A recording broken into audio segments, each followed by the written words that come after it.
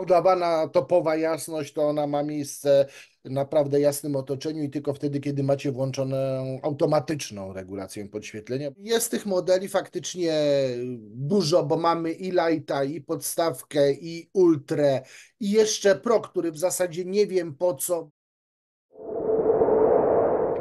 Cześć, witamy Was po przerwie świątecznej. No trochę musimy nadrobić niestety dzisiaj.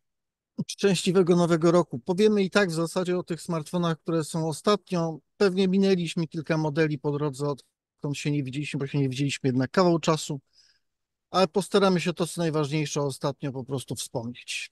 A Huawei wypuścił serię Nowa 12 w czterech osłonach, odsłonach, przepraszam.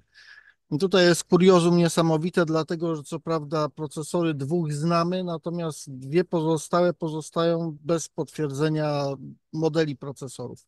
Powiem szczerze, ja się w historii nie spotkałem jeszcze z tak Nie, długim, bo to, bo to trwa od jakiegoś czasu, z, ta, z tak długim precedensem nie podawania, a, na no, jakim procesorze tak. jest oparty smartfon. Wiesz, y, Samsung też to stosuje niekiedy, szczególnie wtedy, kiedy ma dwa różne procesory. Może tutaj też jest podobnie, chociaż z drugiej strony, no, Huawei no nie jest już powiedzmy globalnym graczem, no to są telefony głównie kupowane w Chinach, więc też takie różnicowanie procesorów byłoby dziwne, ale oni Też ba, ba, bardziej globalnym gra, graczem od Honora, którego u nas nie ma. Huawei No, nadal ma u nas oddział, a Honor nie Honor jakby, no, no, no, no, no, no, no, Honor jest u nas, hello, co Ta, prawda, ta, ta, ta, że co rzeczywiście prawda przed świętami jakoś, ale jest. chyba Y, rzeczywiście przed świętami jakoś się pojawili.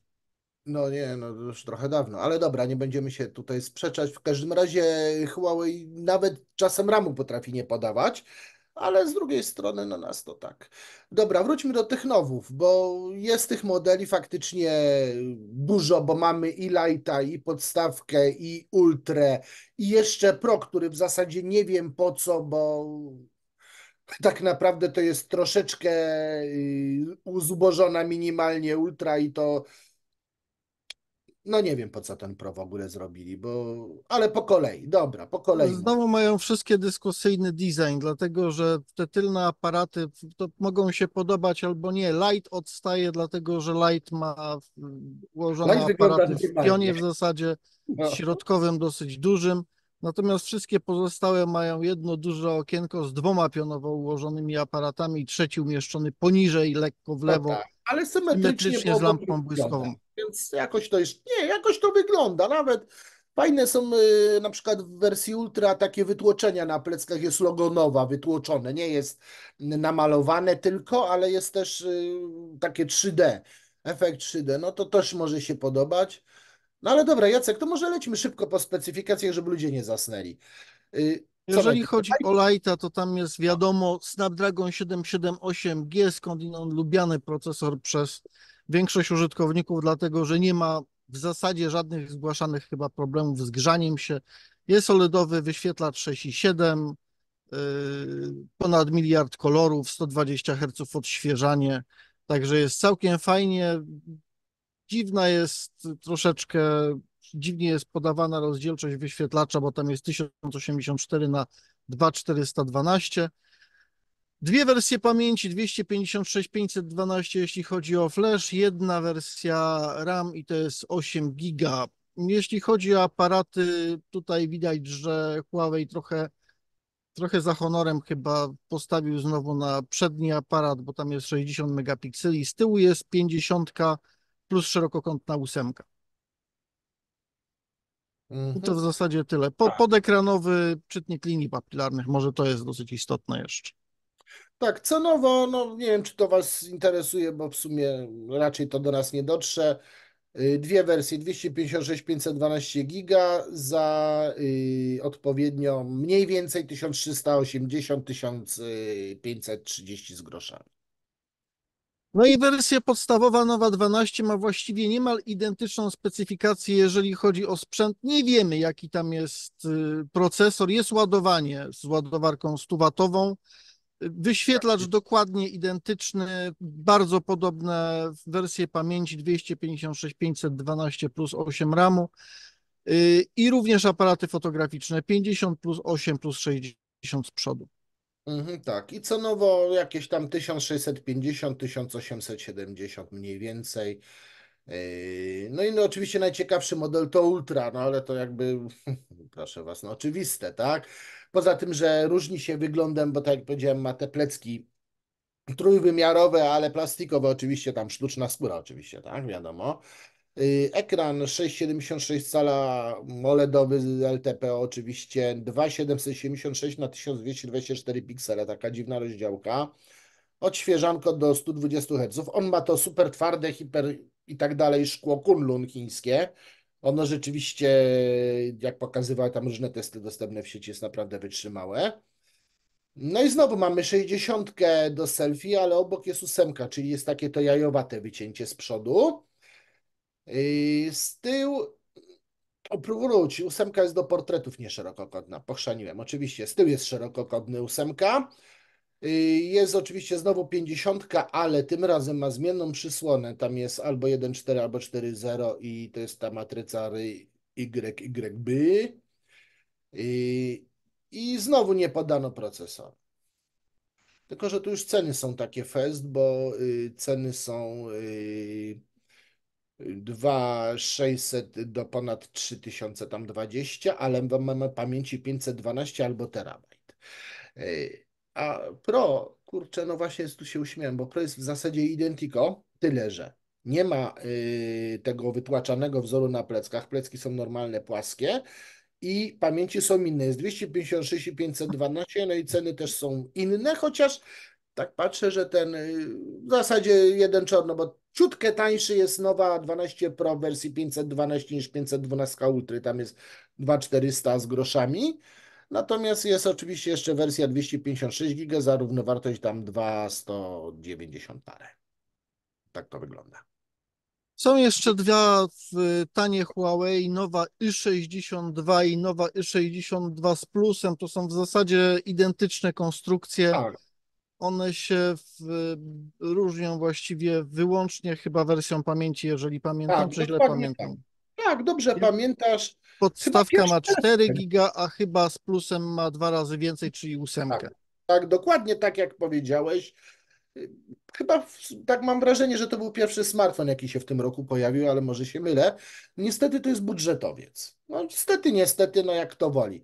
Właśnie cen jeszcze Huawei nie podał, jeszcze się upewnię, kliknę sobie w sklep na wszelki wypadek, No to ale jest IPS-owy wyświetlacz 6,5, Cały- jest HD, bez cudów, odświeżanie nie jest zwiększone, bo jest 60. 60 Hz, y, 128 plus 4, jak już wspomniałem, albo y, 128 plus 8 w wersji plus.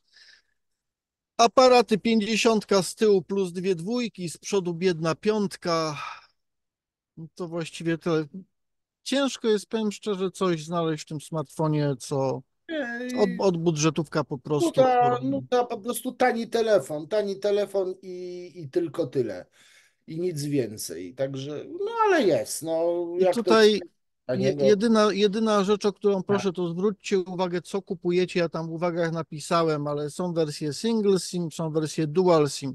Tylko jedna wersja ma NFC, podobnie z częstotliwościami, ale to, to zawsze tak jest, że w zależności od tego, na jakim rynku są różne częstotliwości 4G na przykład i 3G również też. I 2G też w tej chwili są różne, bo 1900 coraz częściej znika po prostu w wersjach dalekowschodnich, nie tylko. W związku z tym zwróćcie uwagę, co kupujecie. Jeżeli chcecie NFC, znajdźcie wersję z NFC. Jeżeli chcecie Dual SIM, znajdźcie wersję z Dual SIMem.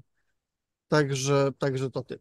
tak, ale akurat no, Huawei ten akurat myślę, że nie trafi do nas. Także nie ma No i problemu. Honory, które są O! właściwie w- marką córką, znaczy Honor jest matką córką Nie, Huawei, a tutaj są dwa, wspólnego, powtórz. dwa dosyć, dosyć fajne modele. Honor Tak. 90 GT, yy, który jest takim modelem, właściwie oba mają, ale zacznijmy od tego, zacznijmy od tej 90 GT, oba mają Snapdragony ósmej generacji, ósme w różnych generacji, bo w, w przypadku 90 GT to jest druga generacja. AMOLEDowy wyświetlacz, miliard kolorów, y, 1200 na 2664 i 120 Hz odświeżanie. W smartfonie wyglądający, przypominający troszeczkę designem inną markę, powiem szczerze. Nie, nie będę może mówił jaką. Z tyłu dwa aparaty fotograficzne 50 plus 12, z przodu 16. Jedna wersja tylko z tego, co znalazłem pamięci 256 plus 12 giga RAMu. Imponująco, ale tyle. Mhm. Gdyby to to miało lepsze aparaty fotograficzne, to może warto by się było kusić, a tak w cenie, którą kosztuje, to obawiam się, że to tak średnio. No dokładnie. Chyba, że ktoś nie, nie potrzebuje robić zdjęć, to wtedy powinien być to w miarę rzetelny smartfon, całkiem sensowny. Chociaż powiem szczerze, że Nie no. X50 GT mi się bardziej podoba. Nieco, chociaż też jest podobny do smartfona innej marki. No, jeszcze bardziej niż tamten, nie? Y, W przypadku GTK to akurat mamy już y, mnóstwo wersji pamięciowych, bo mamy cztery, nawet 16 giga plus tera. No ceny tam od 1200 na nasze na 1616, ale to oczywiście, no wiecie, są ceny w Chinach, tak? Yy, Także na spokojnie, możliwe, że któryś z nich do nas dotrze, ale to nie będą drogie, jakoś tam wybitnie drogie telefony. Możliwe, że u nas będą przemianowane jeszcze. Diabli wiedzą, jak to będzie z tym naszym honorem bidnym, bo no, póki co cały czas siedzą, tak jak powiedziałem, w jednej sieci i, i jakoś tak dziwnie, ale będę miał okazję niebawem zapytać i bezczelnie zapytam, co, co, co, co wy dalej robicie. X50 GT ma dosyć fajną bateryjkę, bo tam jest prawie 6000 tak. mAh, 5800. Tutaj jest Ale Snapdragon 8 z plusem pierwszej generacji. Wyświetlacz 678, także dosyć duży dla tych, którzy lubią większe. 1200 na 2652 i 120 Hz również odświeżanie. Yy, Tutaj jest, właściwie nie wiem, czy lepiej z aparatami fotograficznymi. W zasadzie nie jest lepiej, bo tam jest 108, prawdopodobnie standard albo Samsungowy, albo, a nie pamiętam, któ- czy, czyja jest ta druga najpopularniejsza. Jest to, to jest chyba ta 1 na 1,67 cala, ale to, to, no to jest tylko takie domniemanie, bo tego nie podali. Jeden jest, jeden jest dodatkowy aparat do głębi ostrości, z tyłu, z przodu jest 8 megapikseli, a ta 108 domyślnie oczywiście robi jedną czwartą zdjęcia, czy, czy, czyli tam pi- 50, tak, no, A. Y, No można jeszcze dodać, że, że IP53 jest, czyli taka ta szczelność na wszelki słuczaj. Y, Jest oczywiście NFC, pytanie czy w opcji, czy zawsze, no bo tu trąbka, tak jak Jacek Wam wcześniej sygnalizował, a ładowanie jest 35W, no jest spory akumulator jednak, no bo jest większy ponad standard, tak, no bo jest 5800, a 35 W, tak. Są, są, no nie jest źle, ale też mogłoby być ciutkę lepiej, ale tak jak mówię, no to są telefony tak półki, no, yy, takiej niższo-średniej, więc no, kurczę, no nie wymagajmy też cudów. No.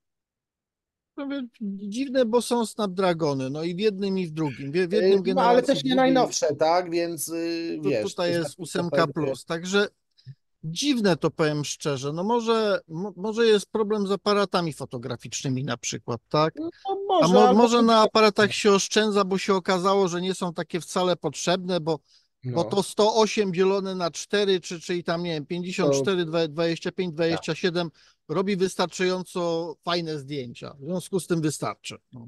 No dokładnie. Yy, Także, a może po prostu jest zapotrzebowanie klienci chcą mieć Snapdragona. Whatever, stary, nowy, nieważne, ważne, żeby był Qualcomm na pokładzie i wtedy o, wow, ósemka, blokady mnie.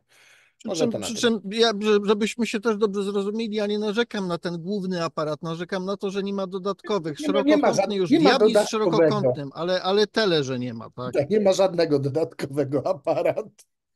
No, jest, jest dwójka jakaś, mogli ósemkę dać, która by tam coś dodatkowo robiła z trochę lepszą optyką. Nie, Dobra. nie wiem, no cokolwiek, kurczę, no a tutaj po prostu nie ma nic. Smartfon wygląda nieźle całkiem, bo, bo, bo design jest ładny, natomiast jeżeli chodzi o No. aparaty, to tutaj nie bardzo się ma honor czym popisać. Ale jak chcecie telefon, który wygląda jak ten GT, tylko trochę lepszy, to marka na Erma. Vivo Uświetla. V30 Lite, taniutkie, ładniutkie stosunkowo ze Snapdragonem 695, czyli to od razu go, go ustawia na tej średniej półce, no może troszkę niższej średniej półce, ale jest AMOLED, który znowu podbija troszeczkę stawkę.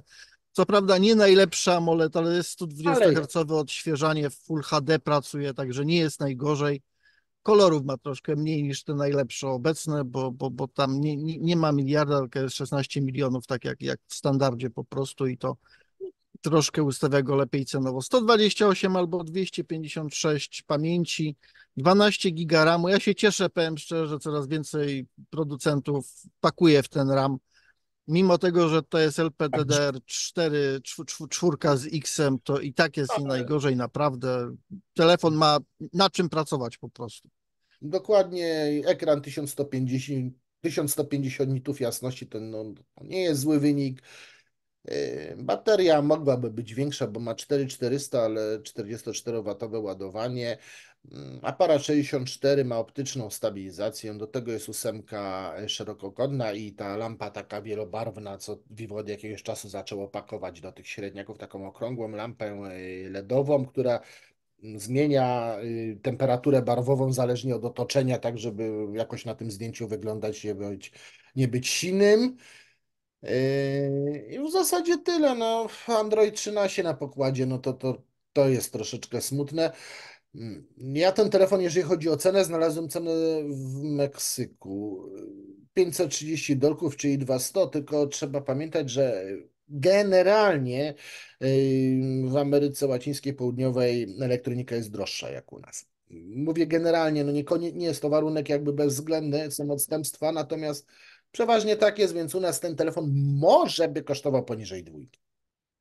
Smartfon w ładnym różowym złocie. Jak się upieracie przy tym designie, to w Polsce są smartfony, które są sprzedawane bardzo podobne, zbliż, zbliżoną spe specyfikacją, także znajdziecie bez problemu.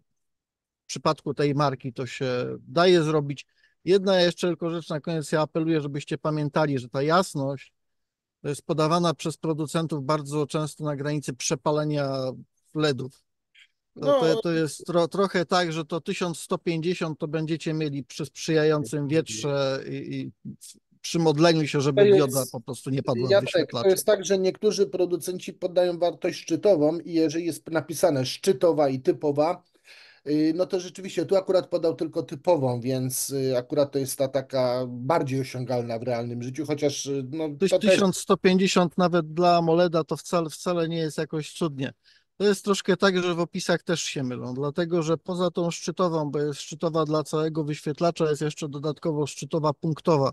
Ja widziałem ostatnio OnePlusa, całkiem nowego a, OnePlusa z, wy, z wypalonym LEDem, znaczy pewnie czterema wypalonymi LEDami, bo to było punktowo, ten punkt było bardzo dobrze widać, także podejrzewam, że po prostu poszło za duże napięcie, szlak trafił. Wszystkim się zdarza, ja widziałem dokładnie to samo w pikselach, także yy, po prostu shit happens i tyle. No. Natomiast hmm. faktycznie to jest tak, że czasem e, producenci podają na wyraz, no, wiesz, przyznają sobie nagrody, to też właśnie wspomniana marka tam akurat w kategorii słuchawek sobie przyznała dwie nagrody, że są na najlepsze słuchawki e, w porównaniu z tymi jednymi tylko, bo no śmiesznie, no ale to wiadomo tak. No, jak już było kiedyś, też Sony przerabiało tam, nie pamiętam, najlepszy aparat w 6,8 calowym smartfonie, Wymyślamy kategorię i przyznajmy sobie nagrodę. W każdym razie w praktyce ja wiem, że to będzie prawdopodobnie on od 500 do 700 nitów jasności takiej, takiej użytkowej. Oczywiście. Natomiast to, to, to ponad 1000 to, to trzeba tak. traktować z dużym przymrużeniem oka, szczególnie w przypadku tego typu wyświetlacza. Tak, no w większości przypadków to jest też tak, że ta podawana topowa jasność to ona ma miejsce naprawdę jasnym otoczeniu i tylko wtedy, kiedy macie włączoną automatyczną regulację podświetlenia, bo na manualu to nie dojeżdżacie do tego, a właśnie dlatego, żeby nie wypalać ekranu, bo jak ustawicie manuala raz, to ona jest na maksa cały czas, a jak jest automatyka, to ona tego maksa osiąga rzadko kiedy i, i no, rozumiecie o co takim prostym założeniu, jako że taki ekran AMOLEDowy składa się tak naprawdę z, ma z maciupeńkich diod LED, a taka dioda świeci tym jaśniej, no w uproszczeniu przyłożone jest większe napięcie do niej. Im większe napięcie, tym ona się bardziej Większe zużywa, a im większe napięcie, tym bardziej się grzeje i może się przepalić po prostu. W związku z tym tak to wygląda. Na ten temat zrobiliśmy z Konradem nawet parę filmów, więc sobie wbijcie na naszym kanale, poszukajcie hasła LED, AMOLED y, i sobie poglądajcie, to dowiecie się więcej. Serdecznie zachęcam. Vivo IQ Neo 9 i Neo 9 Pro? Pro. Nie z plusem Pro, tym razem. Pro, pro, pro. Ten te, oba właściwie mają fajną wersję, taką czerwoną, z- Tak, biało-czerwoną nawet dla patriotów. Tak, y, no to powinni z cebulą zrobić, ale jakby chcieli polski. Ale jest nasza flaga, chociaż y, myślę, że akurat nie to Vivo miało na myśli, bo u nas Vivo jest nieobecne od jakiegoś czasu, a AIKU w ogóle nigdy u nas nie było, więc y, po cóż by mieli naszą flagę kłaść, za to włożyli fajny ekran. 144 Hz OLEDową matrycę 6,78 cala, 2800 na 1260 pikseli. Y, Ekran ma opcję taką, że tam można go mokrymi łapami obsługiwać, ma zintegrowany czynnik linii papilarnych i występuje w obu modelach. Bo, moi drodzy, te dwa telefony w zasadzie są identyczne. W zasadzie, bo się różnią jednak dwoma istotnymi szczegółami, ale dwoma. Y, Szesnastka do selfie jest w dziurce w ekranie, jest Android 14, Ym, Jest, słuchajcie, bateryjka, tylko muszę powiedzieć, bo nie pamiętam, 560. Pamiętam, że ma dziwną, dziwną pojemność, 560 mAh, 120W ładowanie. Yy, No tam oczywiście bajery, pilot podczerwieni, głośniki stereo i tak dalej. Jest tego troszeczkę. I Jest oba... różnica w aparatach fotograficznych, Tak, bo ta pod, podstawka ma 50 plus 8 szeroki i 16, jak Adam wspomniał, z przodu, natomiast wersja Pro ma dwie 50 z tyłu, 16 z przodu. Ta 52 też jest do zdjęć szerokokątnych. Dokładnie, czyli jakby przeznaczenie aparatów się nie zmienia, natomiast zmieniają się jakby ich parametry. No i procesory są inne, moi kochani, bo podstawka ma Snapdragona 8 drugiej generacji, natomiast Pro ma MediaTeka Dimensity 9300. A y, jakby co się z tym wiąże, znalazłem dziś ciekawą informację. Co prawda wstępnie dotyczącą Indii, ale akurat to, co w Indiach, to z reguły jest później tak zwana globalna dystrybucja że globalnie nie będzie Neo 9, tylko będzie wyłącznie Neo 9 Pro, ale na Snapdragonie. Czyli prawdopodobnie Vivo przemianuje chińskiego IQ Neo 9 na globalnego IQ Neo 9 Pro. Y, Nie wiem jeszcze, co zrobią z aparatami fotograficznymi. Może się okazać, że zrobią hybrydę, czyli wezmą procesor z podstawki i aparaty z Pro, ale szczerze w to wątpię. Myślę, że po prostu globalnie będzie ten uboższy wariant y, po prostu przemianowany na Pro. Cen z Chin, no mogę Wam podać wachlarz, aczkolwiek no tych cen jest multum, bo jest raz, dwa, trzy, cztery, sześć wersji do wyboru. Od 1260 za podstawkę 12256 po 1815 za wersję 12512 modelu Pro. Przy czym pamiętajcie, to są ceny z Chin, one się będą miały nijak do globalnych. Tak jak powiedziałem, ten telefon niebawem trafi do Indii. No a jak już będzie w Indiach, to już w zasadzie można mówić, że jest globalnie dostępny, e, tylko że jeszcze do końca nie wiemy, jak będzie wyglądał, tak? Bo... Pamięci są znowu obłędne, bo w 16 No giga RAMu i tera pamięci dla użytkownika to jest po prostu Mhm. Natomiast jeżeli chodzi o jasność wyświetlacza, tutaj jakby widać różnicę, to jest troszeczkę lepszy ten, ten wyświetlacz, bo, bo jest LTPO AMOLEDowy i on ma z kolei jasność podawaną na poziomie 1400 nitów, także Mhm, tak. będzie sensowniejszy na pewno od tego taniego smartfonika, o którym mówiliśmy wcześniej. No i, będzie też biało-czerwona wersja, bo ta jest promowana już na indyjskim Amazonie. Nato, Biało-czerwony tam. Natomiast taki numer z rename'em, o którym Adam wspominał, to jest niestety dosyć częsta rzecz i na przykład coś takiego zrobiło właśnie Xiaomi z Redmi Note 13 5G w wersji globalnej, ponieważ wersja chińska już wyszła, No tak. wcześniej no, była i wersja globalna właściwie myślałem, że może któryś następny wzięli i, i nazwali tak w globalu, że, że, że może ta, że, że może są identyczne. Okazało się, że nie, że ani jedno, ani drugie rozwiązanie. Tutaj jest procesor z wersji rzeczywiście Note 13 5G i właściwie większość specyfikacji się nie różni. Jedyną różnicą jest to, że dołożyli podobnie jak w wersji chińskiej Pro z kolei jeden aparat fotograficzny. O, ile w Chinach ten podstawowy model ma setkę plus dwójkę i szesnastkę z przodu, to ten, który idzie na Indię i na Europę, będzie miał jeszcze dodatkową ósemkę do zdjęć szerokokątnych, trochę jak Pro. Mhm, Ale z kolei z procesorem Dimensity 6080, czyli z wersji podstawowej, a nie z wersji Pro. No tak, ale nazwali go wersją podstawową, więc tu nawet można powiedzieć, że dobra zmiana, bo dołożyli aparat, a nadal mówimy o podstawce, czyli jest szansa, że Pro europejski może być lepszy od chińskiego. Tak, chodzi, chodzi mi o to, że zrobili hybry, hybrydę. Nie mówię, że, że to jest źle No, wcale, natomiast tak. zrobili hybrydę pomiędzy No, no, wersją podstawową ja- chińską, a wersją prochińską. I to jest okej hybryda dla Europy, dlatego że w przypadku takiej samej nazwy to jest jeszcze kwestia tego, jakie będą ceny. Tak, no w Indiach już nawet chyba też Pro wyskoczyło, zaraz sprawdzę, wiesz co, bo... Wyskoczyło Pro i wyskoczyło Pro Plus, ale Pro Pro i. Pro Plus są identyczne z wersjami chińskimi. Ja już od rana sprawdziłem, także Tak, tylko że nie, właśnie to są... nie zmieniałem specyfikacji. Specyfikacje Mhm. są identyczne po prostu z tym, co pokazano w Chinach. No właśnie, to też trochę dziwne. No i teraz pytanie, no bo u nas y, premiera, y, premiera tych Redmi, nie wiem czy wam mogę powiedzieć, bo nawet sam zapomniałem, wiem, że jakoś jest zapowiedziana. Na E, 24 grudnia? Nie, te, te, stycznia 25 chyba. stycznia, yy, blablabla, 25 akurat. Jest to- 25 stycznia. Yy, 24 jest inna premiera, ale to też Wam o tym na pewno opowiem, bo będę. Natomiast 25 jest Redmi Note 13 u nas i myślę, że to jest ogólnie europejska premiera tej serii. Natomiast nie wiemy, czy będzie to samo co w Indiach. Oby. No bo i w Indiach by szło spoko, tak? Nie pogorszyli przynajmniej. To Znaczy, jest. raczej tak, one, one powinny być w dystrybucji globalnej również, tak to, to nie tak powiem. Ja na, na, przypadku nawet nazwałem tego Note 13 5G Global, ani India, dlatego że to mówię, wszystkie znaki na niebie i ziemi wskazują, że to jest właśnie ta wersja, która wyjdzie do dystrybucji globalnej. Nie, nie wiem jak z Pro i z Pro Plusem, bo, bo tutaj może być różnie, ale też w zasadzie indyjskie wersje, czyli identyczne jak Zazwyczaj chińskie, tak. powinny przyjść do nas po prostu. Oby, po prostu oby, no bo wtedy będzie całkiem fajnie. Natomiast będzie, tak jak Jacek powiedział, trochę dziwna różnica, niewielka pomiędzy bazą a Pro, bo no mamy, w Indiach jest hybryda, tak, także.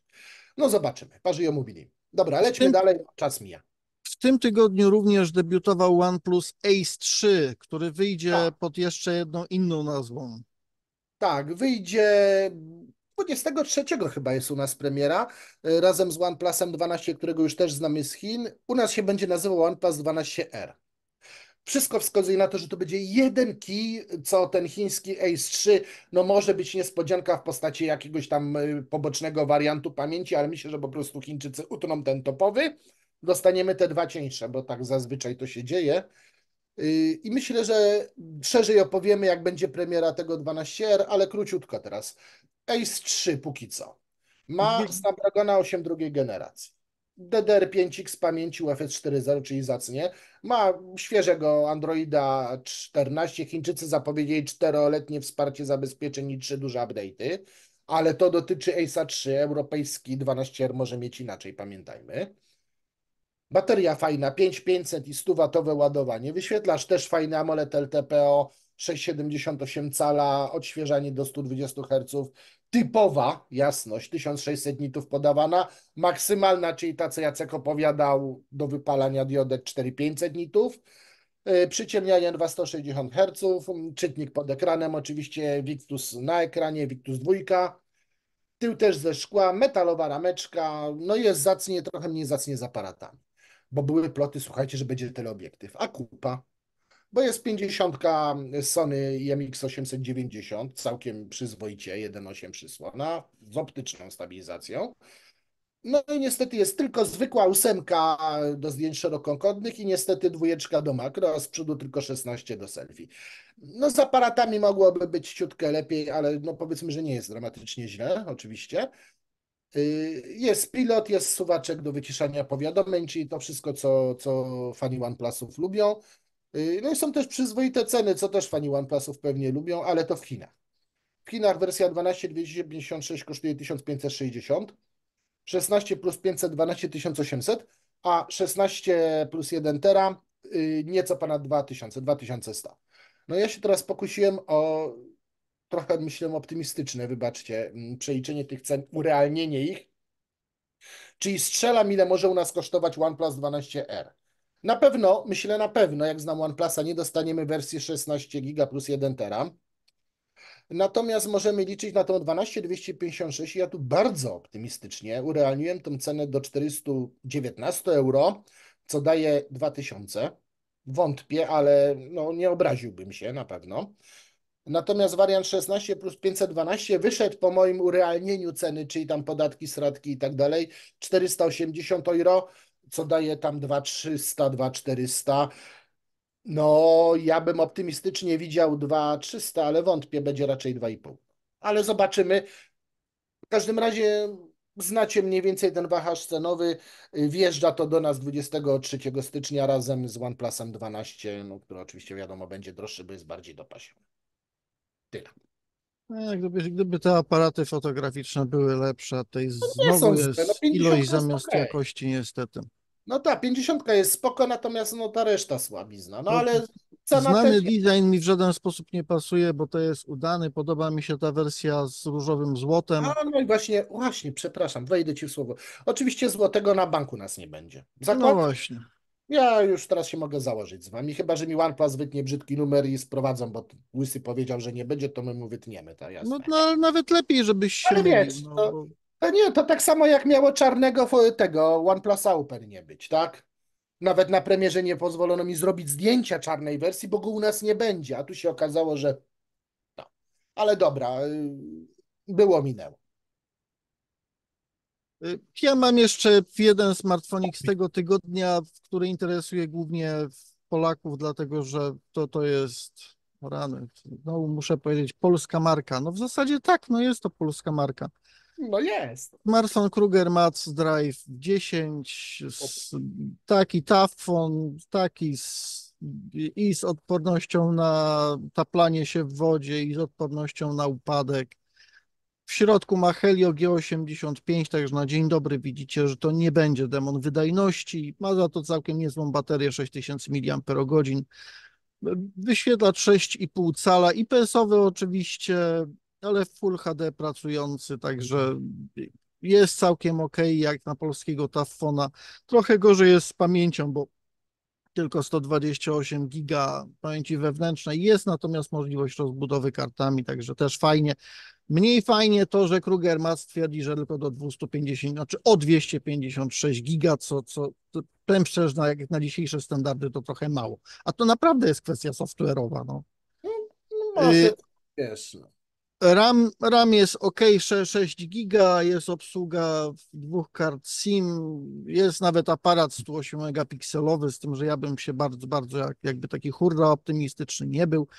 Jest do tego, są do tego trzy ósemki. Dwie ósemki z tyłu dodatkowe, jedna do zdjęć szerokokątnych, druga do nocnych i jeszcze jedna ósemka z przodu do zdjęć, do, do selfików, do zdjęć portretowych. I to w zasadzie chyba tyle. Jest Tyle. czytnik linii papilarnych, co może nie jest oczywiste w tafonach ostatnio, tych popularnych. Jest jack 3,5 mm, także to też może liczy się na plus. Y, Jeżeli chodzi o odporności, to one są standardowe, czyli IP100, IP68, 69K i military standard, chyba H, jeżeli dobrze pamiętam, ale jeszcze sprawdzę. Nie, G. No cóż, no to jest, jestem troszeczkę niższy, ale No. to nadal jest. OK, na zachlapanie powinien być odporny całkiem, całkiem. No ja No to zapomniałem, chyba tyle. No tak, ja zapomniałem o jeszcze jednym rodzynku, który co prawda pokazał się w Chinach, a do nas dopiero dotrze, ale to już wam tak na szybko powiem. No Motorola oczywiście szykuje nową serię Moto G i w Chinach już mamy yy, możliwość obejrzenia Moto G34 5G ze Snapdragonem 695, 8 plus 8 wirtualnego RAMu, jeżeli chodzi o pamięć operacyjną DDR4X, yy, wewnętrzne UFS 2.2 128, czyli tak mm, no, budżetowo. Bateria 5000, 18W ładowanie, 6,5 cala LCD HD ze 120 Hz odświeżaniem, czyli widzimy, że telefonik raczej budżetowy. 16 do selfie, 50 z tyłu plus dwójka, czyli też typowy dla budżetowców zestaw. Nietypowe dla budżetowca są głośniki stereo z Dolby Atmos. Czysty interfejs motorolowy, wiadomka. Yy, I ten telefon w Chinach, moi drodzy, wychodzi yy, nieco ponad, niecałe 600 zł, czyli cena bardzo fajna. No, oczywiście, jak doliczymy nasze podarki, to się robi już nie fajnie. Yy, Ja z kolei mam przecieki, że w Europie będzie niestety wersja 4 plus 128, czyli bida. Yy, I będzie to bardzo już w tym momencie budżetowy ten telefon. a niestety cena wyjdzie 190 euro, czyli 820 zł. Ale jak będzie tak naprawdę, to Wam opowiem. Myślę, że już niedługo, bo co prawda wiem, że jest premiera Motorola, że jeszcze nie znam dokładnie daty, no ale jakoś tak niebawem te wszystkie Moto G powinny wjechać, bo tam jeszcze 24, jeszcze tam 54, tam poczytajcie sobie, są u nas.